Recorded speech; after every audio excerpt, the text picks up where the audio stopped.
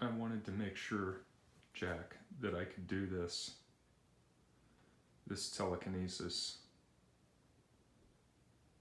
um, standing a few feet away. Right now I'm, I would say five feet, five feet away. This is the first time ever I've been able to do this from a distance away from glass. That is a piece of tin foil suspended on a needle, embedded in clay, covered by a glass jar. There's no wind, there's no air, there's no vibration. This is my mind, possibly my magnetic field, electromagnetic field.